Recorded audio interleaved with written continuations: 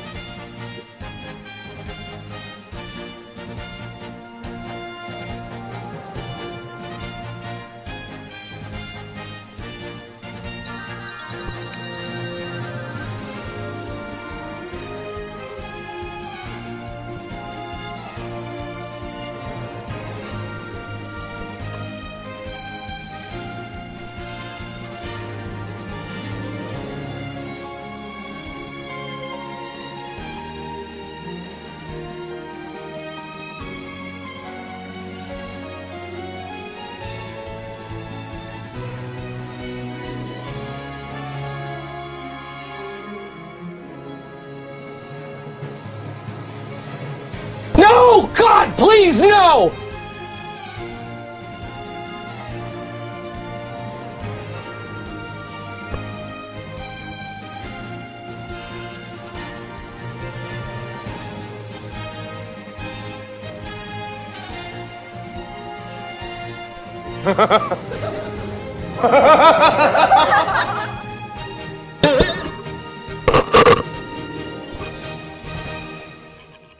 huh?